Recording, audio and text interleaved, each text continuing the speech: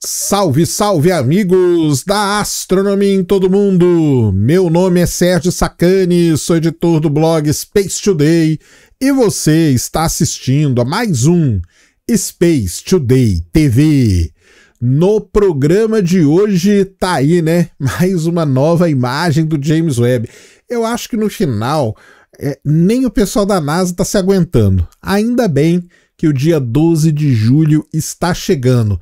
Mas o que nós vamos ver aqui agora é, pelo menos por esse tempo, a imagem mais profunda do universo já feita em infravermelho. E olha que ela foi feita pelo Fine Guidance Sensor, que nem é um instrumento para fazer imagem propriamente dita. Vamos entender tudo isso, vamos entender essa imagem e mais um aperitivo aí, né, para preparar a gente para o dia 12 de julho, Manda a vinheta.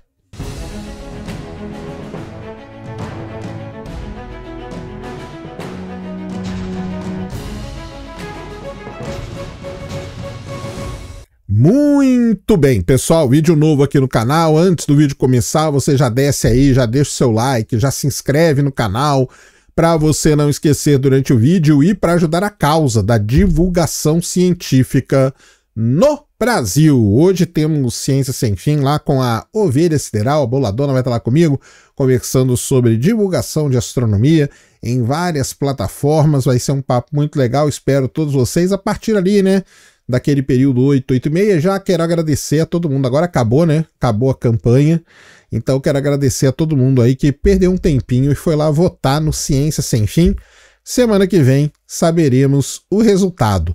Mas antes, Vamos para o vídeo de hoje passar aqui nossos 10, 15 minutinhos batendo um papo sobre algo importante, interessante, relevante que acontece no universo.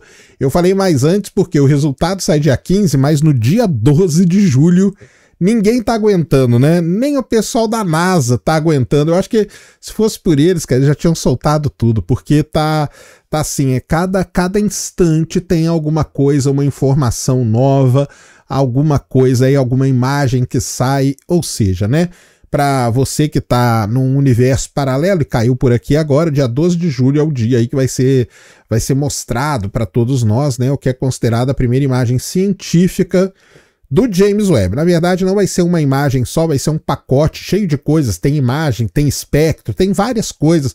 Tem todas as imagens de calibração, eles prometeram pelo menos, tudo que eles usaram aí para comissionar o James Webb e deixar ele pronto para ele começar então toda a sua observação científica. Lembrando que a live aqui no Space Today começa às 10h30 da manhã, uma hora antes do grande anúncio da NASA, e vamos acompanhar mais esse momento histórico da astronomia mundial, né, da humanidade com todos vocês, beleza? Mas vem cá, você já parou para pensar uma coisa? Como que o James Webb, um telescópio, né? Todo telescópio, você pega qualquer telescópio amador, você tem que encontrar um alvo, você encontra um alvo no céu. Então vamos observar Júpiter. Você encontra Júpiter e para que você faça uma observação de longa duração e tudo mais, o telescópio tem que ficar parado ali, tem que ficar parado em Júpiter. Então tem que ter um motor que guie, né, que faça a guiagem que a gente chama para o telescópio ficar paradinho ali em Júpiter e seguir Júpiter e Júpiter não sair, aí você consegue fazer imagens com bastante tempo, filmar Júpiter por muito tempo, e é aí que você faz isso. E você já parou para pensar como que o James Webb faz isso? Porque ele está no espaço, né? Ele não tem um tripé ali apoiando ele. Muito bem. O Canadian, a Canadian Space Agency, né, ou seja, a CSA, desenvolveu para o James Webb um equipamento chamado de Fine Guidance Sensor, que na verdade é isso, é o sensor que vai fazer a guiagem do telescópio, ou seja, ele pega ali algumas estrelas, algumas estrelas de referência e tal, e fica seguindo por, por aquelas estrelas. Isso garante que o telescópio fique ali, né, fique ali paradinho, e os outros instrumentos dele possam então agir fazendo as imagens como, como, ele, como ele deve fazer. Uma coisa muito importante é que esse instrumento, o Fine Guidance Sensor, embora ele faça imagens, ele não foi feito para fazer imagem, né? Nenhuma imagem de, digamos assim, caráter científico, nada disso. Ele faz imagem para usar essa imagem como uma guiagem do telescópio. É basicamente isso que serve. As imagens não ficam ali, então você vai ter problemas com elas, elas não têm uma utilização científica, tá? Isso é muito importante vocês terem em mente. Tá? O James Webb tem outros instrumentos científicos, mas ele precisa desse sistema de guiagem. Então, esse sistema de guiagem ele virou um instrumento que, embora não faça imagem, fez essa imagem aí que vocês vão ver a partir de agora. Uma imagem simplesmente espetacular. Tá? Então, isso aí que vocês estão vendo é uma imagem feita por um instrumento do James Webb que, é um, que não é um instrumento feito para adquirir imagens, mas essa imagem, que é uma imagem de engenharia que a gente chama, imagem de teste que a gente chama, já tem assim uma qualidade realmente impressionante, impressionou todo mundo, não só impressionou todo mundo, como impressionou o, o pessoal lá, os, os, cientistas, os operadores do James Webb já ficaram emocionados vendo essa essas imagens. Então é um negócio assim, realmente é muito legal. Tem algum, alguns pontos aí nessa imagem que são. Lembrando, então, né? Vamos é, enfatizar. Essa imagem ela não foi feita nem com o objetivo científico, nem o instrumento tem esse objetivo de fazer imagens científicas, e nem essa imagem foi otimizada para finalidade científica. O que é otimizar uma imagem para finalidade científica? É você usar um determinado filtro, um determinado modo para fazer aquela imagem. Essa aí não tem nada, é como se fosse uma coisa bruta. Você ligou ali o Fire Guidance Sensor, vamos testar, vamos ver se ele está funcionando, faz a imagem e apareceu essa imagem que vocês estão vendo aí agora. Essa imagem é o seguinte.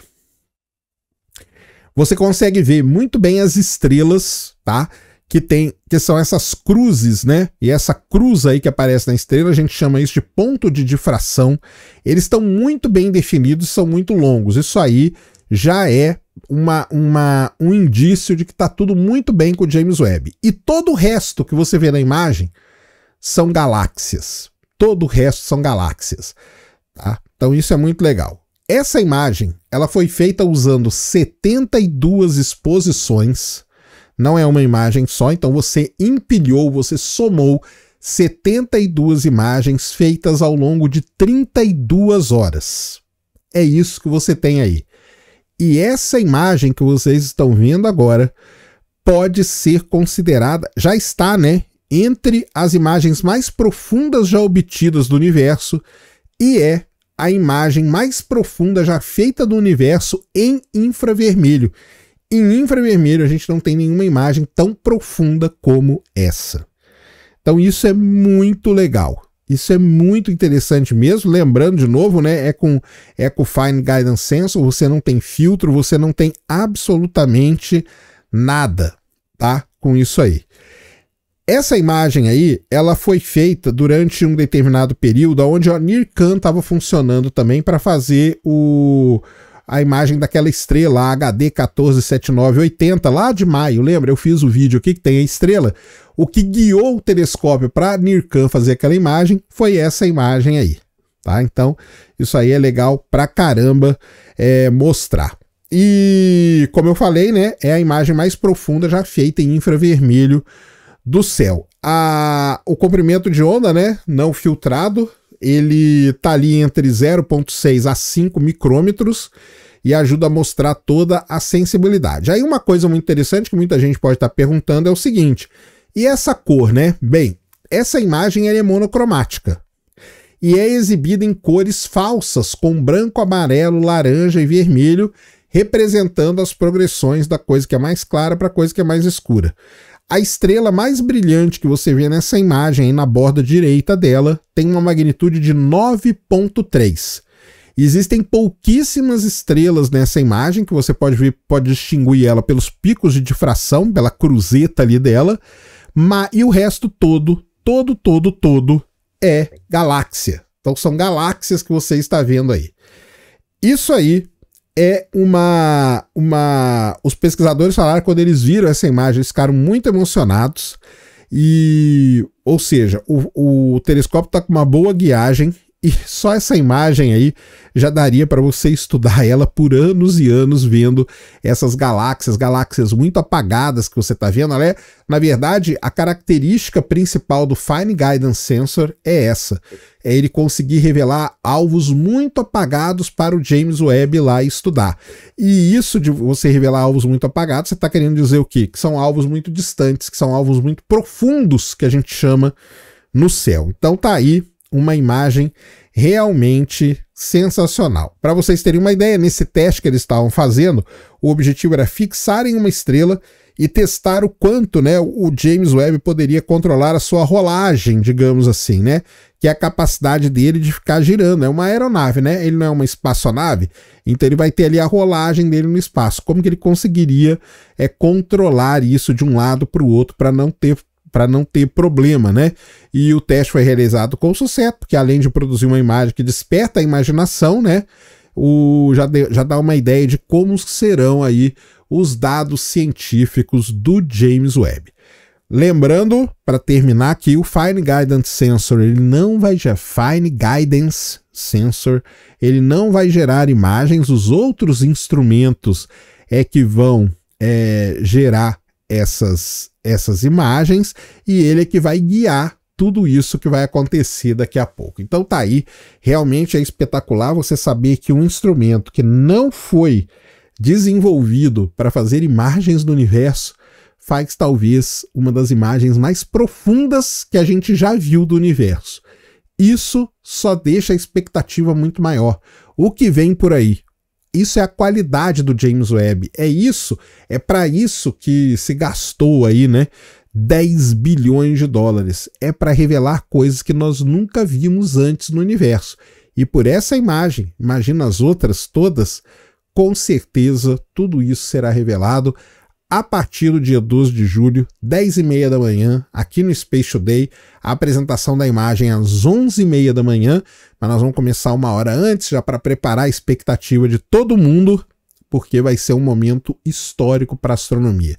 Realmente, eu imagino os pesquisadores, essa imagem chegando, né, essa que nós vimos aqui nesse vídeo, chegando ali para eles a primeira vez, eles olhando aquilo, aquele monte, né, aquele pontilhado de galáxias ali, galáxias apagadas, galáxias estão muito longe, muito longe mesmo. Talvez aí nessa imagem esteja já o recorde, tá?